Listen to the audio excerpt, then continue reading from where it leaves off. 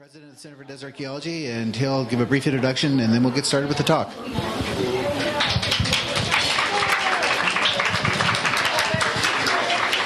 Actually, the only reason I want to stand up here is because of the fire here. So, thank you all for coming out and uh, braving the chill night here in Tucson, uh, something that's a little out of, out of the ordinary.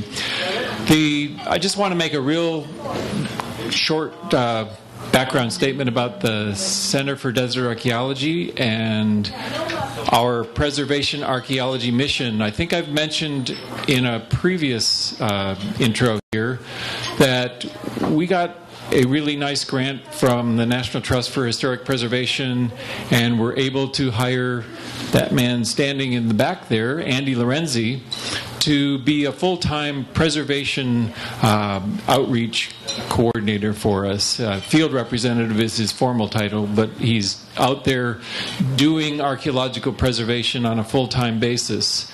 And the latest news from the National Trust is that they have awarded us a, an $8,500 emergency stabilization grant. We've been working with the town of Springerville for the past seven or eight years now. They are the owners and they run uh, regular tours out to the site of Casa Malpais. And this is one of the challenges of preservation archaeology the town was doing great stuff. They were offering great tours. The site had been uh, excavated and stabilized, but it takes a lot of annual input into a stabilized site to keep it up and even attractive or even vaguely resembling an archaeological site.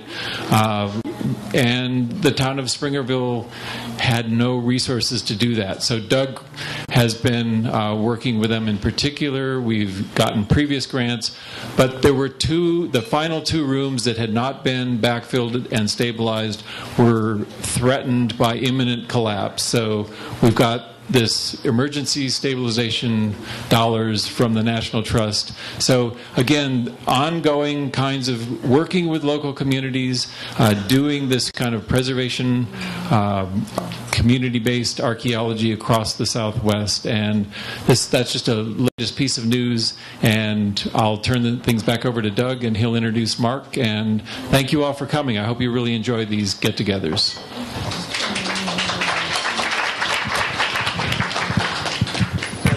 Question back there?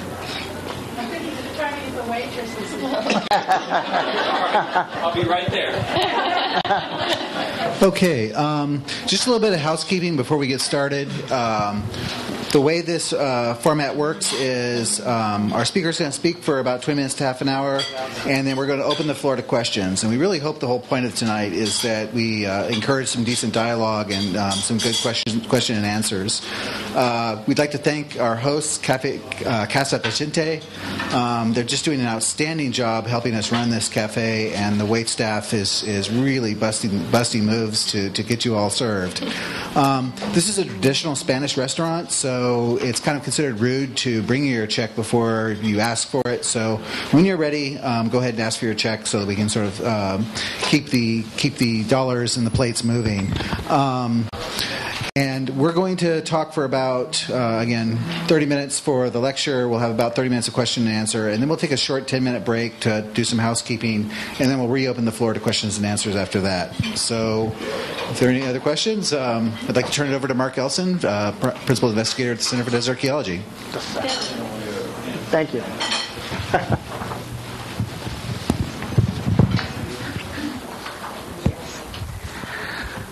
Well, good evening. Um, thank you for having me. Uh, want to clarify that I work actually for Desert Archaeology, and uh, we are the for-profit arm of the Center for Desert Archaeology. So, where to begin? Well, about 10 years ago, the Arizona Department of Transportation decided to widen a 27 kilometer stretch of highway running from Flagstaff, Arizona, north to the boundary of Wupatki National Monument. This road, which is US 89, eventually goes up to Page, Arizona, is considered to be one of the more dangerous roads in Arizona. Um, if you had driven it 10, 12 years ago, there were 176 white crosses along the road. Uh, sort of an interesting byline. These were all put up by a single individual um, who would track uh, traffic accidents, fatalities, and make crosses out of PVC pipe and put them up. ADOT, of course, was not happy with this, so ADOT would take them down. He would come back and put them up. Uh, and at the time, there was a very popular bumper sticker in Flagstaff that read, Pray for I drive Highway 89.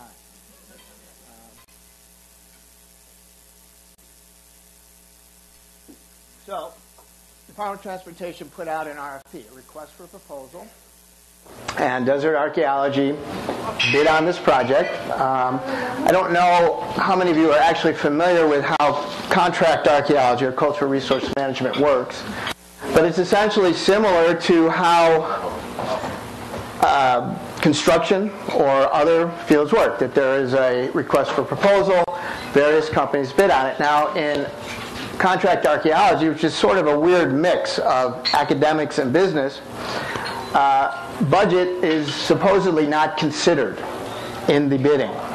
Uh, they look at your research design, they look at your personnel, they look at your staff, they look at your methods and how are you are going to recover the data before the highway is built. Now, it's almost impossible to uh, put a road anywhere up in northern Arizona without going through prehistoric sites. And along this stretch of Highway 89, of US 89, there were 40 prehistoric sites that could not be avoided. And so when Desert Archaeology got the contract in 1997, I and uh, several others from here moved up to Flagstaff for about a year over two field seasons, 97 and 98, and excavated around 40 sites that were in the right of way, that were going to be harmed by the construction. In the process, we dug up about 70 houses, both pit houses and uh, masonry pueblos. We recovered about 100,000 artifacts. We excavated another 400 or so features that were not houses, but inside the right-of-way. This is an incredible database. This is uh, the largest project, single project that had occurred in the Flagstaff area. And it allowed us to look at some very interesting research questions. Um, and we were very interested, of course, in how the road runs right by Sunset Crater National Monument. Uh, it's within six kilometers of the volcano itself, and every project site had volcanic ash or cinders on the surface of the site. And so Sunset Crater has been a focus of Flagstaff area archaeology since Flagstaff archaeology began in the 1920s and 1930s. Dr. Harold S. Colton, who founded the Museum of Northern Arizona, was the first archaeologist to realize that Sunset Crater erupted at some point during the prehistoric occupation of the Flagstaff area. And this came about from excavation of a pit house. These are pit houses or semi-subterranean structures. Basically, you dig a large pit that is ranges anywhere from say four to seven or eight meters long by four or five meters wide. You line it with posts. You then plaster it with mud and adobe uh, with an entrance and a smoke hole, and you live in it. And um, because uh, this pit house was sealed by 40 or 50 centimeters of cinders on top of it, this was the first indication that Sunset Crater erupted during the prehistoric occupation. That's true. Um, uh, the question asked was, when did this eruption occur? Um, Colton and his colleagues, John McGregor and Lynn Hargrave, uh, spent a lot of time debating when Sunset Crater erupted, because it's a very important question, because if you are living midst of a volcanic eruption, that is certainly going to alter your worldview, uh, probably change the way you live in terms of adapting to this event, it may cause severe stress, it may cause fatalities, uh, it may cause neurosis, as the child indicated. Um, but, I'm sorry. um, and this is a good talk for children, though. Um, and so, through tree ring dating, uh, they, Colton and others, were able to determine, or so they thought, Sunset Crater erupted in 1064 AD. Now that is a date that every school child in Arizona learns at some time, that uh, you will learn if you take Southwest anthropology, archaeology, and universities. Uh, 1064 became firmly entrenched in the literature, and this was based on the work of geologist Terah Smiley, who in the excavations of Wupatki, which is a 100-room pueblo up there, uh, found three beams, three tree beams, that had narrow rings, that the rings were wide, and then 1064, 1065, the winter of 1064, the rings suddenly became narrow. Smiley said, well, this is perfect. This is must be indicative of the volcano, and this date has become set. Now, we are questioning the date, and I, I will get into that a little later. But the main question, excuse me, that we are asking is how do humans adapt to catastrophic events? And this is, as you might expect, is a pretty relevant topic nowadays, given environmental change, uh, given what is occurring in the world with some of these huge disasters, Katrina, uh, tsunamis, um, flooding in the, in the Midwest. And the question goes further Are there regularities in human behavior that we can use based on lessons from Sunset Crater or other catastrophes to help us plan and model how humans will react in the future? And through this project, I joined forces with a volcanologist from Northern Arizona University, Michael Ort, and a uh, geomorphologist, also at NAU, uh, Kirk Anderson. And we became a team essentially to look at these, these aspects of volcanoes or disasters in general.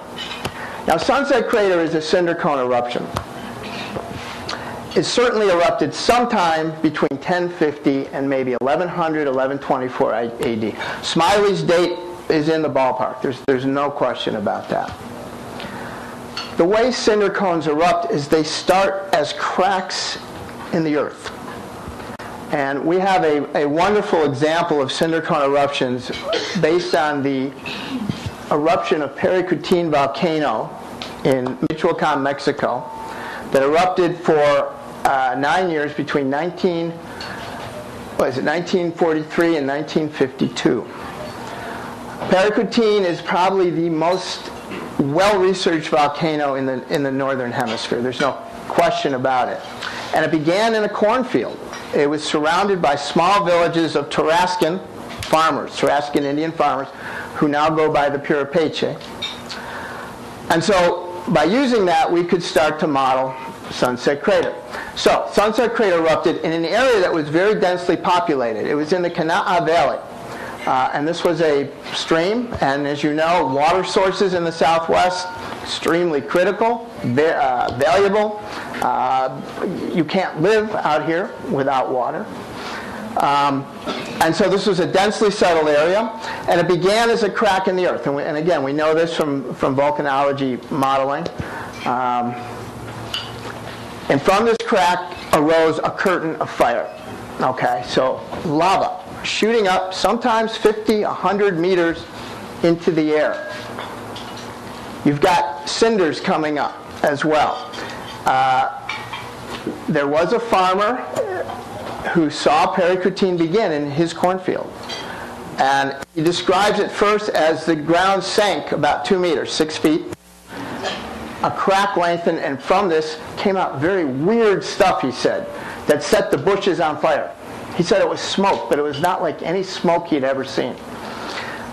While this eruption starts, it's accompanied by sounds, loud noises. It's been volcano eruptions have been described as from uh, Pompeii, from Etna, through the world as sounding like knocks and hisses and whistles and cracks from the center of the earth.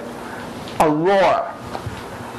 We have documented evidence from modern volcanoes that they can sometimes be heard 300 to 400 kilometers away.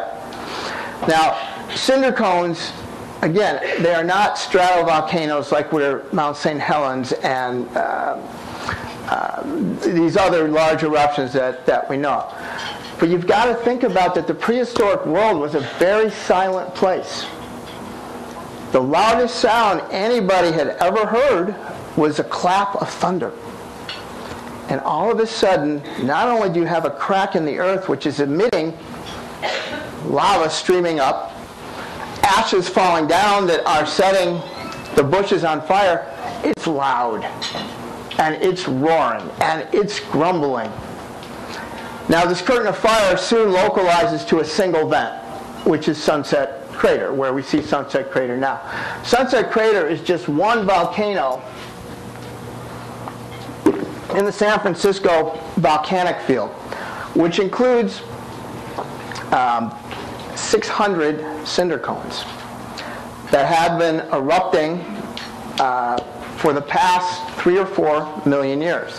The field is still active. In fact, it's not a question of if the next volcano occurs, it's a question of when the next volcano is going to occur. It's my dream to see it. Um, unfortunately, Sunset Crater occurred about a thousand years ago. The interval between eruptions is difficult to calculate, but we calculate it now as anywhere between 250,000 years down to 15 or so thousand years. I probably won't live that long. We don't know. I mean, stranger things have happened. However, think about the prehistoric people living in the Sunset Crater area. All right? So you have this localization to a single vent that is spewing up cinders and ash. These things grow amazingly fast. Paricutin grew 300 meters high within six months. Within three days at Paricutin, the cone itself was over 100 feet high. So it's spewing these things, and then cinder cones, volcanoes, make their own weather system. And so as cinders and ash are coming up, you've got lightning and thunder coming down. In fact, at Paricutin, nobody was killed by the lava flow itself. Because these lava flows, they're not pyroclastic flows like we see at stratovolcanoes, like Mount St. Helens, or uh, Mount Humphreys, the San Francisco Peaks, was a stratovolcano that went off about three or four million years ago. You can outwalk the lava flows. If they're going downhill, you can outrun the lava flows. Um, hopefully. However, what you do get are people killed by lightning strikes. At Paricutin, again, nobody was killed by the lava flow. Three people died from lightning. These are very God-driven features. It doesn't matter what religion you believe in or if you believe in one or not. However, when you experience a volcano, there is nothing like it. And I was fortunate enough to go to Kilauea at some point. I'll talk a little bit about that later, and it's part of your handout there. Uh, while the volcano is active, and to see this, and it, it, they are phenomenal. They really are. And in fact, you can go there as an atheist and come back believing in something. Uh, let, let, me tell you. Um, and so, what is going on in the minds of these people? How do they adapt to this event? The other thing that I like to think about is the fact that they're living surrounded by 600 cinder cones, and all of a sudden another one pops up. This is a real aha experience. Oh, that's what they are. Um, you've got to, you know, understand that, that this is, is a life-changing event. Now, Sunset Crater, the Flagstaff area, the Sinagua who lived in this area up to the time of the volcano, lived in very small sites. Anywhere from four or five people, maybe a, a household or two, up to maybe 10 households, 30, 40, 50 people. But after the volcano come the sites that you're used to in the Flagstaff area, like Wupatki, Elden Pueblo, with, with 100 rooms or so. But before that, most of the decision making was at the household level, or probably at a slightly larger, higher level of maybe several households. But you knew everybody. What that allows you to do is to react fairly quickly to volcanoes, to catastrophes.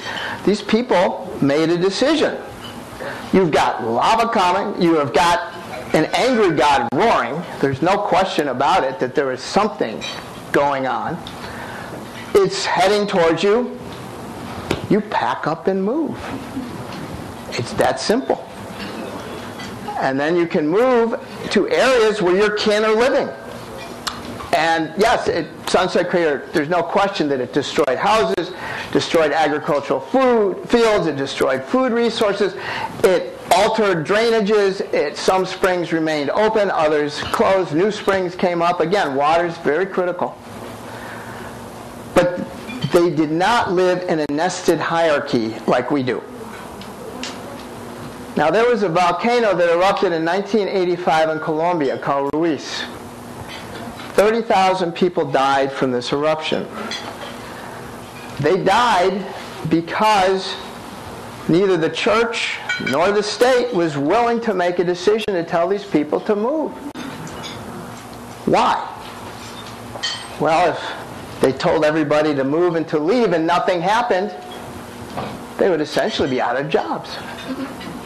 So as a result, the volcano itself melted ice fields, tops of the mountains, and caused huge lahars. Lahars are mud flows that go very, very fast, hundreds of miles an hour. And it killed 30,000 people.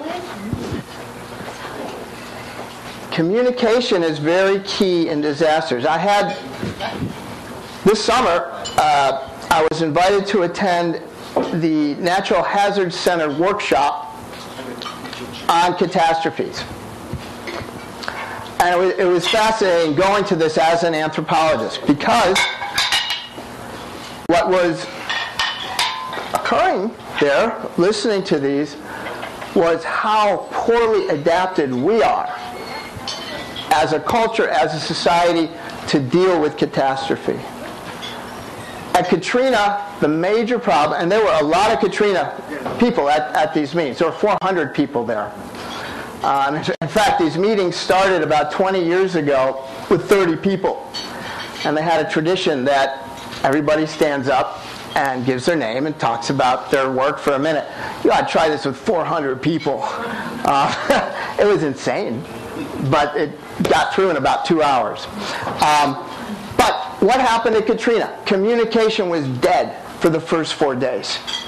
Nobody knew what to do, and there was no authorization. There were no lower levels of organization where people had the authority to make decisions. And rumors and media started almost immediately. I think we've all heard how they were shooting at helicopters. Um, now, I talked to first responders at these meetings who were in the helicopter crew, and they said, well, you know, we heard this and we said, those ungrateful SOBs, we're coming in to help these people to rescue them. They're shooting at us. We're not going in. And they didn't. This is what happened. So the media got out of control. Communication was dead there were absolutely no accounts of anybody shooting at a helicopter. None. It's also interesting the words that are used for this. When the police would break into a store to get goods and supplies, it was appropriation. When the people would break into stores to get the same goods, what was it? It was looting. That's exactly what it was. And people died because they did not have authority, did not know what to do. Now, Katrina, of course, is a large scale compared to Sunset Crater, but there are, I believe, lessons from Sunset Crater that can be applied. All right, so sometime between 1050 and 1100, you have this volcano going off. It's altering people's worldview. This is the most awesome, amazing thing they had ever experienced. Did they have it in their recent memory? No. Nobody alive had dealt with a volcano. Now, they did have, I'm sure, traditional histories going back about volcanoes. I think volcanoes are very much a part of human knowledge. Um, they have been occurring, of course, for millions of years as we have been human. And there is something that is. It's very fascinating about these. Why? why? We, we are. We, we are just extremely fascinated. And I think there may be some deep primordial memory in there. I don't know. I mean, I can't certainly prove it, but uh, I think it's I think it's possible.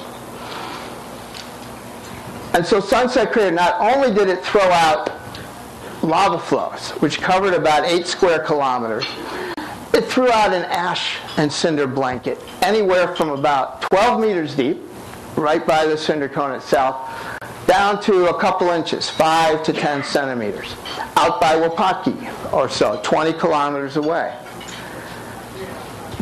The ash is actually more destructive than the lava flows. And what our research showed us, and this is something that Colton had, had picked up on before,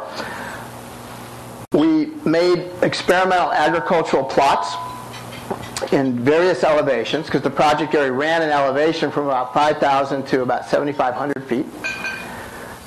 And we covered it with no cinders, with one inch, three inches, and six inches of cinders. I, and I had a, a botanist working with us actually. Planted corn, planted Hopi corn, to see what would happen. No crop arose by Wupatki in areas without cinders. And nobody, from Colton to uh, several other researchers, has ever been able to grow corn without a cinder cover by Wupatki. Wupatki gets six inches of rain a year. That is way below the threshold for corn agriculture. Corn itself needs anywhere from about 10 to 15 inches, half of which must fall during the growing season. It's always been a mystery as to why these people could live out there and build these, these big pueblos. Well, what happens is that the cinders serve as a mulch. And this has been well studied in pebble mulch fields because the Anasazi by uh, Albuquerque, the Rio Grande, would put pebbles across their fields. And so in this case, the cinders between one to three inches increased crop productivity. Now we put plots at Wupatki, and then we put a plot by Sunset Crater, which is right at about Sunset Crater itself is about 7,000 feet. We put one at 6,000, and then we put one at MNA at the Museum of Northern Arizona, which is at 7,200 feet. We used the MNA plot as our control, and we watered that plot. The other two plots we didn't water. And again, Wupatki, no corn germination without a cinder cover. At our site at 7,000, 6,000 feet at Lenox Park, we did get some germination without cinders because it's wetter up there. The higher you go, it's wetter. But we had no fruit, no maturity. And again, areas from one to three inches uh, germinated at a much higher frequency. The other thing that our experiments showed us, and this is something that Colton did not pick up on, is that with more than six inches of cinders, you get no crop. The cinders are too deep for the corn to come up. And so once we realized this through our experiments and we looked at a map, and this is map number two, or the second page of your handout, which is called an isopach map, which is a map of cinder thickness. When we looked at that map, we saw that over 400 square kilometers was under two deep cinders to have corn or anything. So under 30 centimeters. I, th- I think that the map is in centimeters. I can't remember. We've, we've done some in inches, some in centimeters. Um, so you get no no germination. Basically, people who lived there became volcano refugees. They had to leave the area. Where did they move? Well, again, If you look at the areas with one to three centimeters or one to three inches of cinders, such as Wupatki, it now opened up a huge area for agriculture that had been previously closed. Now, through the years, Colton and others, Chris Downum, several other people, have said that the eruption acted as a population magnet. Colton called it a prehistoric land rush. As people from outside poured into the Flagstaff area to take advantage of the cinder mulch. Well, we think that enough people became volcano refugees based on areas with greater than 30 centimeters of cinders that you don't need to pull in large numbers of people to account for the population. But where did the people come from if they were coming in? Now, if you look at your first map in the packet, this is a view shed. Oh, sorry. This Yes, okay. The one that, yes, the one that has got the southwest with the blue and the red. Basically, uh, using digital elevational modeling, so looking at heights of features, knowing, because volcanology can model how high the fire fountain was and how high the ash plume was based on the dispersion of cinders. There are formulas for this from modern work that volcano, the ash plume, was visible in Tucson. Not from where we're standing, but if you climb the top of Mount Wrightson or top of Mount Lemmon, you would have seen a very black cloud that wasn't moving. Now, people, of course, were very much more in tune with the environment than we are today. They would have known something odd, something very unusual was going on. From Phoenix itself, not even up on top of the mountains, you would have seen the ash plume. From Chaco Canyon, you would have seen the ash plume. From Durango, Colorado, from Palm Springs, California, you would have seen the ash plume. Now the fire fountain, which would have been spectacular, particularly at night because it reflects off the cloud. So it actually goes a much greater area than we've shown you there in red. Would have been visible from the White Mountains, from the Bradshaw Mountains, which are only 70 kilometers north of Phoenix, from parts of the Grand Canyon, the higher parts. Um, but people in the Southwest, everybody would have known something very, very unusual was occurring, and something that was likely God driven.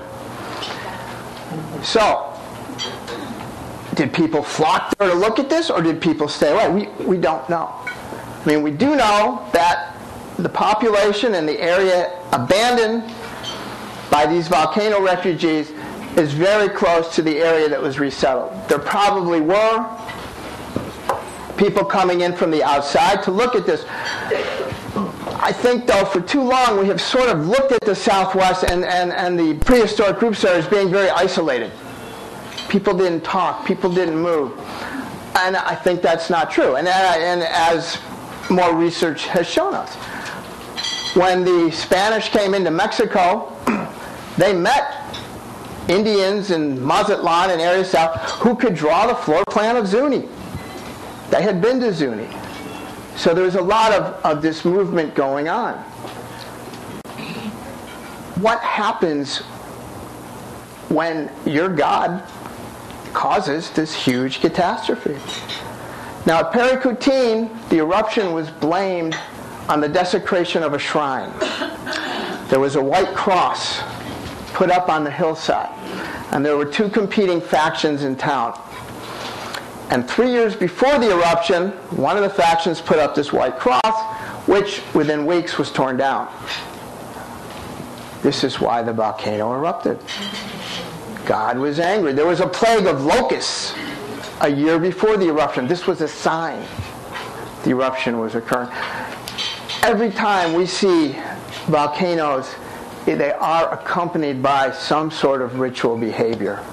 At Paricutin, the women in the town made a procession on their knees across the plaza to the church. Now, this church, Paricutin caused the abandonment of five towns, about a thousand people. This church happened to have a very famous Santos in one of the areas of the church. And they women made a procession to stop the lava. It, it didn't work.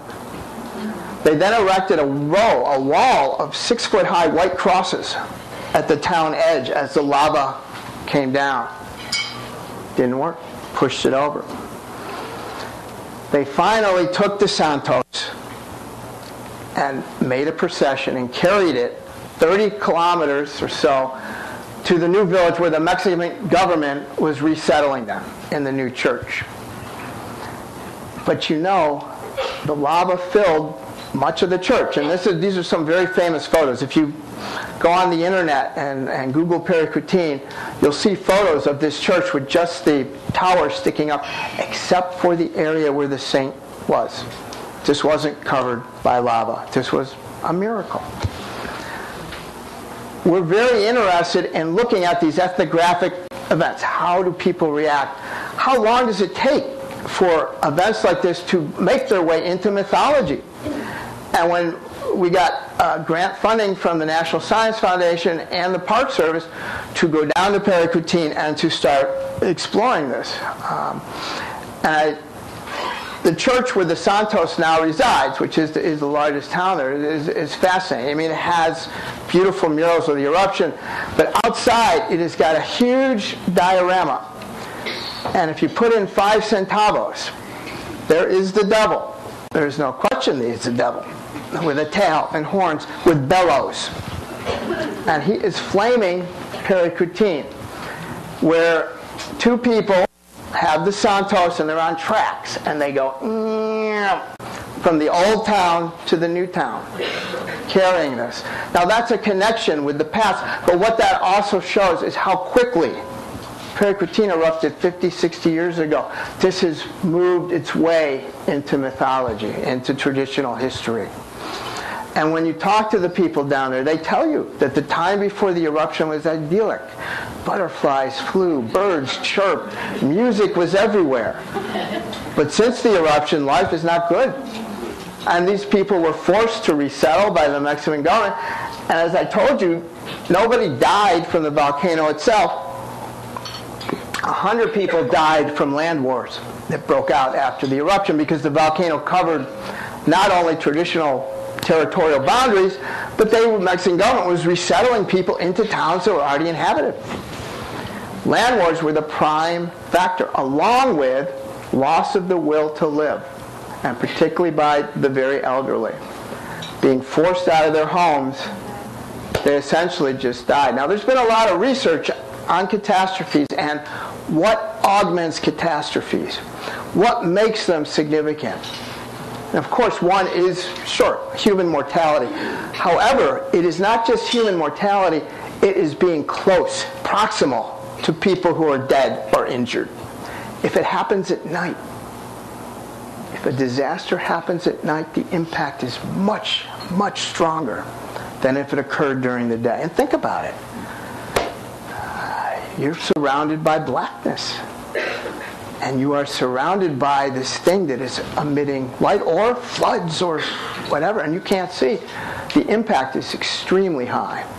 And this is where we do see post traumatic stress syndrome occurring in people. So the people from Sunset Crater moved down into the Wupatki area where they learned to manage the cinders. And we see all sorts of rock alignments and rows of rock there that never made any sense as water traps because they're running uh, perpendicular to the slope. And what we think they are is cinder management. You've got to keep a consistent one to three inch layer of cinders over your fields. Now the Wupatki area was abandoned within 100 years. The earliest tree rings we have there, about 1125 AD, the last about 1250. This may have been the limit to which people could manage cinders enough to grow a crop. I mean, uh, you know, again, and, and I have to say, what I'm telling you is not entirely accepted uh, by the archaeologists in the Southwest. Uh, I've been called a flatlander because I came from the flatlands and went up to the highlands.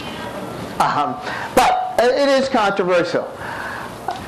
Now let's talk a little about ritual and then we'll open up for questions.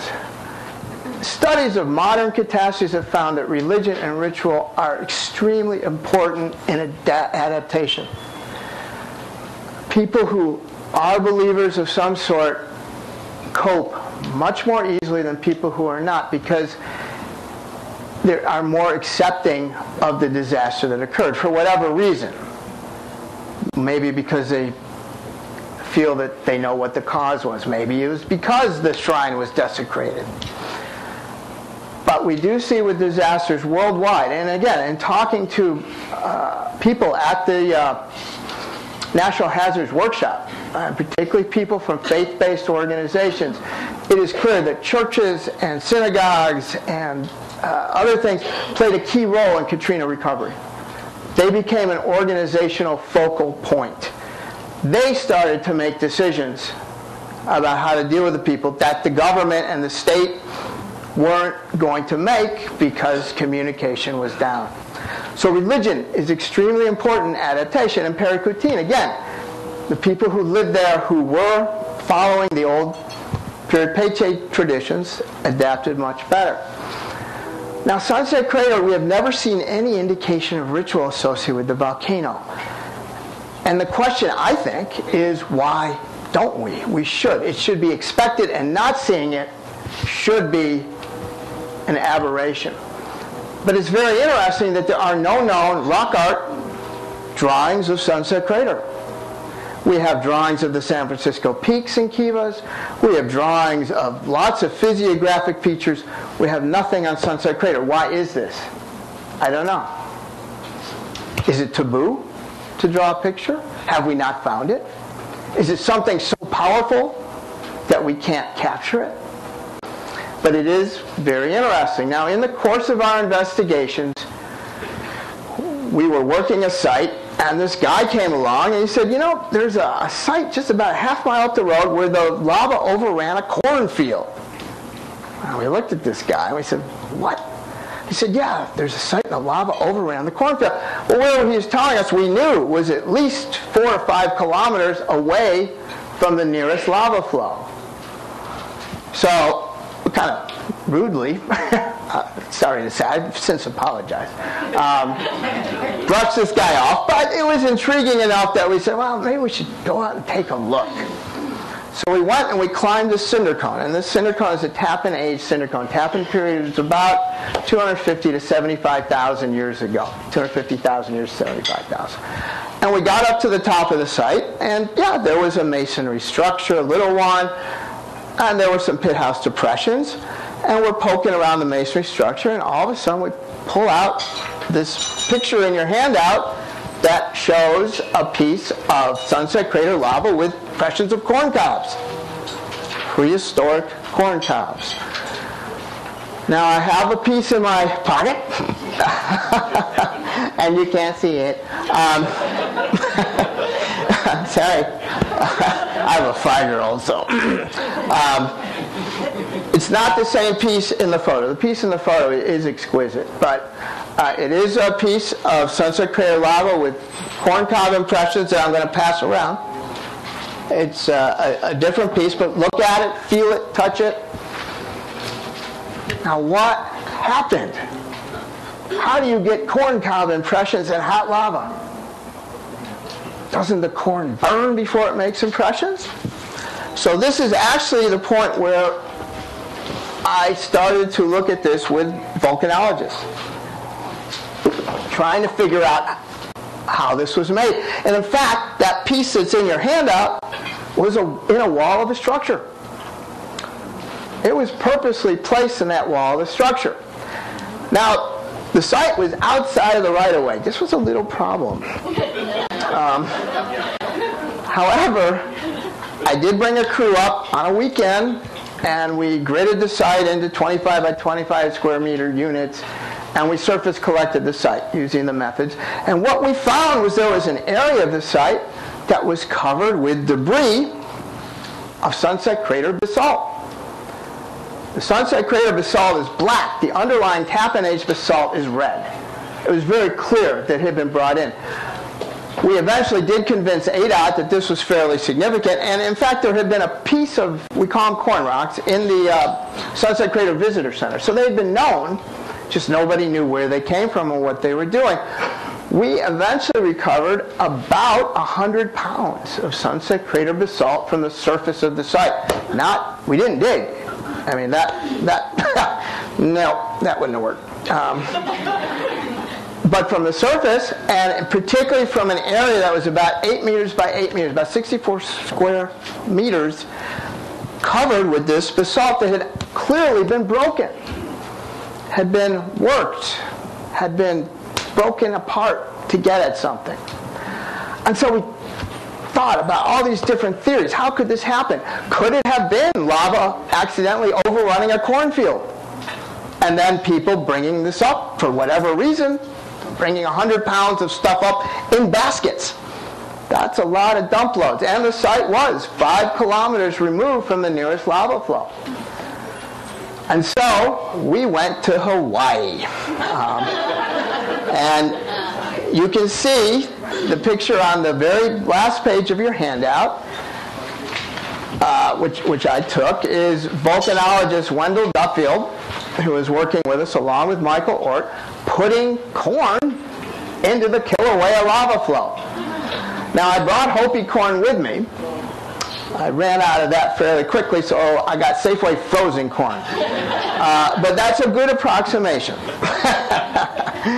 yeah, I've been getting crap for that for a while. Um, but we put the corn in the lava, and you can see from the picture, particularly the second one that's a close-up, that we were not getting the exquisite detail of the corn rocks at all.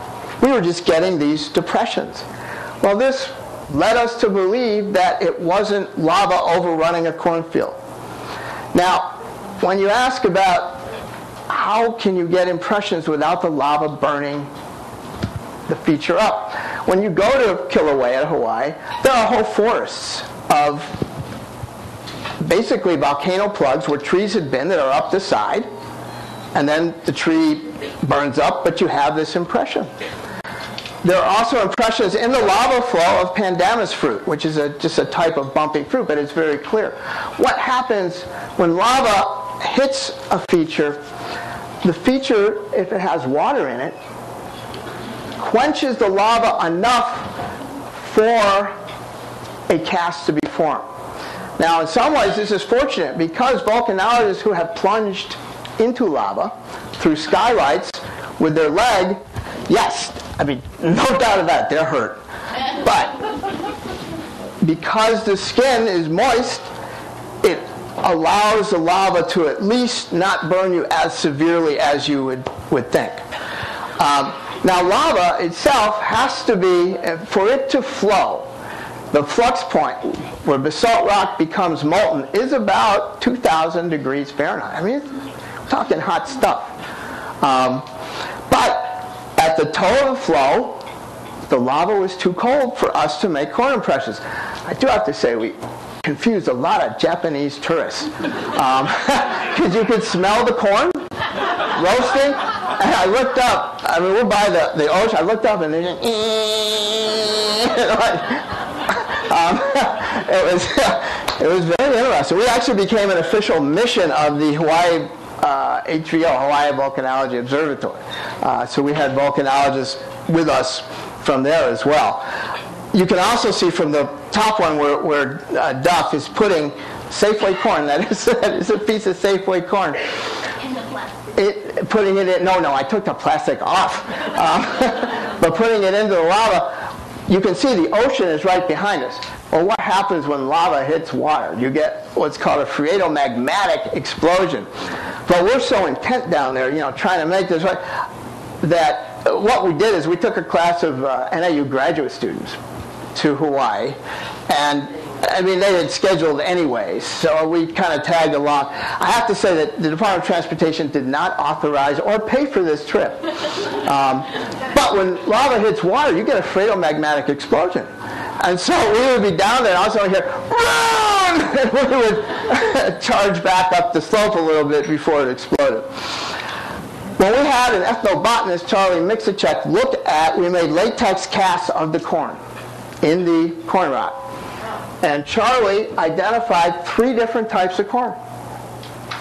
There was a popcorn, there was a flour corn, and then there was a sweet corn, or an edible corn. Uh, based on the rows and, and, the characteristics.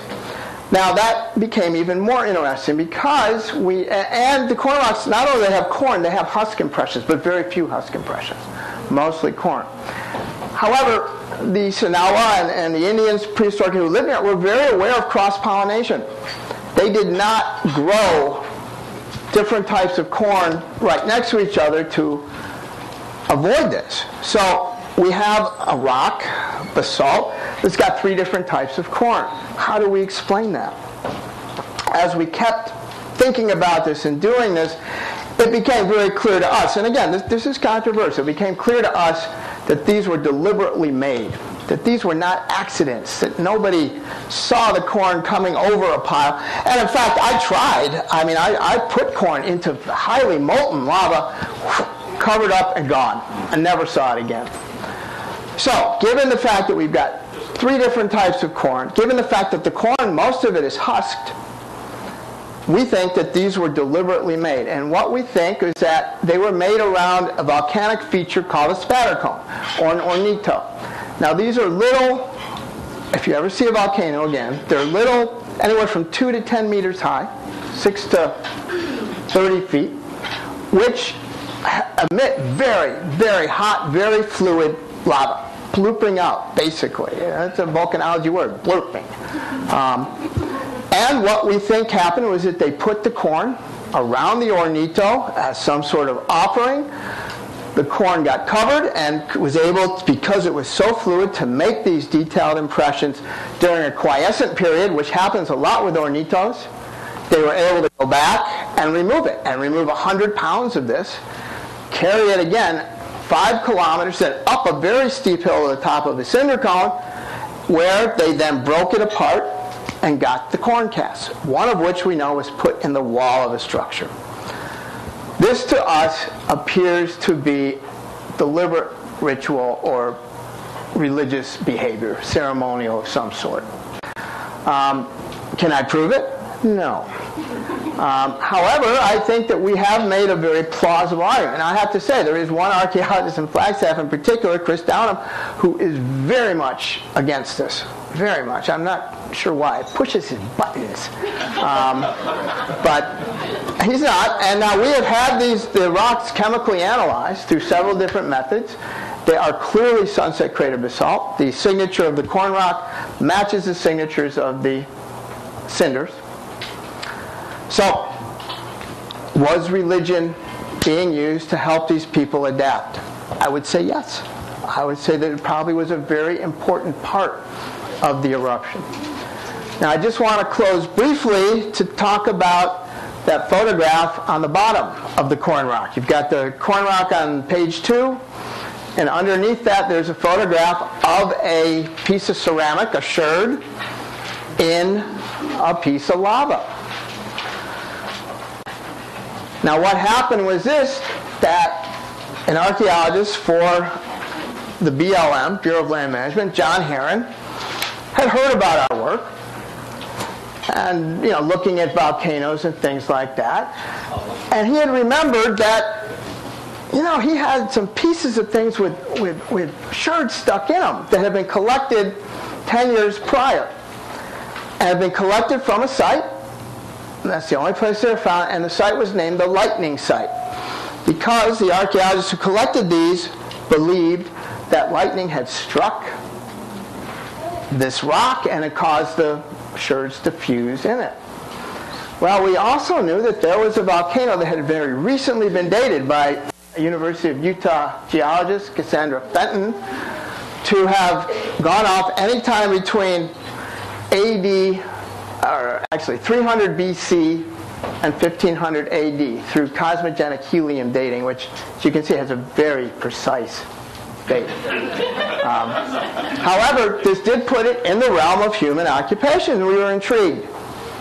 And so John showed us the, you know, he sent us photographs, and so we went up there, Michael Ort, uh, my team, myself, Kirk Anderson, to look at this. And we got some grant funding from Western National Parks Association and went up there, and sure enough, at this site, there were sherds embedded in lava. And the sherds are diagnostic. They are a type called hurricane black on gray, which, if you know Southwest pottery, is an analog to black mesa black on white. These came from the north rim of the Grand Canyon by Toroweap. So, the, uh, right at the base of a, a, mountain called Mount Trumbull. Um, Black Mesa Black on White is very well dated to sometime between about 1000 and 1100 AD. So what do we have? We now have two volcanoes erupting at about the same time. Is this good juju? No. This is not good juju. Also, from our viewshed analysis, we could see that Sunset Crater was clearly visible from Little Springs. This is called Little Springs Volcano. It's been known for quite a while, it just hadn't been dated. And when we went up there and surveyed it, the lava is fresh as at Sunset Crater. Looks very similar. Do we have another instance of ritual behavior of people putting sherds around an hornito, maybe a whole pot? And then again, this site was located about a kilometer away from the nearest lava flow. Bringing this to a site and embedding it in the wall of a structure. All the sherd rocks, and we have about eight to ten of them, were found in wall rocks in a single structure. We haven't dug the site. We are actually attempting to get funding to do that because I think it'd be very interesting. But think about then the ramifications for the Southwest. You have Sunset Crater going off between 1050 and 1100. We actually think that the 1080s based on a whole lot of evidence I'm not going to go into here. But between 1050 and 1100, then we have little springs that at least the ceramics are dating it between 950 and 1100. The architecture at the site itself suggests 1000 to 1100. Little Springs was a much different eruption than Sunset. It didn't have a big cinder fall. Probably did have a fire fountain and a plume, but it was not of the same magnitude. In fact, only six square kilometers were covered by lava flow or bombs, bombs big enough to hurt you. Um, so it was, it was very different. And the interesting thing about adaptation is that the Sunset Crater lava flow was never reoccupied. I mean, you go up there today and you can see why. It's jagged, it's hard, it's uh, almost impossible to walk on. And it's also big. And so people, because of the ash around it, couldn't live anywhere within 15 to 20 kilometers. Little Springs, however, there was no cinder blanket. The lava only covered six square kilometers, and when we went up on top to survey, we found at least 150 structures at about 10 sites up on top of the flow.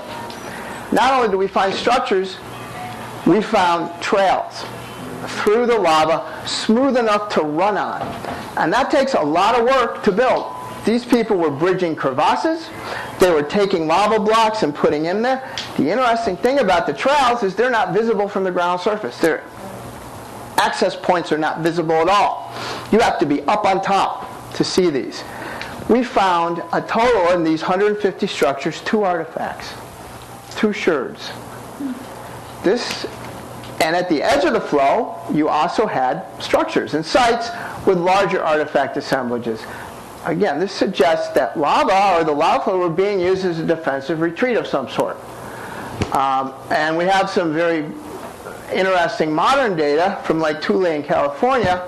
Um, I, I, forget the name of the tribe there, but uh, the U.S. Army estimated that they would need 2,000 people, Modoc, the Modoc Indian Wars, the U.S. Army uh, estimated they would need 2,000 soldiers to roust the 250 Modoc living in the lava field there. Um, so there also are uh, records that uh, uh, one of the uh, the massacres that occurred in historic times up there, the bandits went into the Little Springs lava to hide out. It's a very good hideout place. So we've got a different example of how people are using and adapting to the situation. So I think I'll stop there. I think I probably have said too much, Bill. Um, and I think the schedulers will take a little break, and then we'll have questions, and we can talk further about adaptation. You know, how do people adapt to catastrophic events? Are there lessons from Sunset Crater that can be applied to Katrina or Katrina-like situations? Thank you.